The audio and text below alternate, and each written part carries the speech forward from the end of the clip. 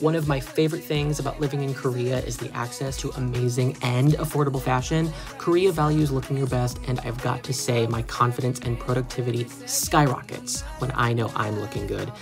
I have been thinking about these pants and this shirt since I first saw them over two weeks ago, and today I came back to see if they were still in stock, and they had one pair of the pants left in my size. Guess how much this was? $22. And this place even gave me a student discount. Can you get a student discount on your clothes where you live? Tell me in the comments.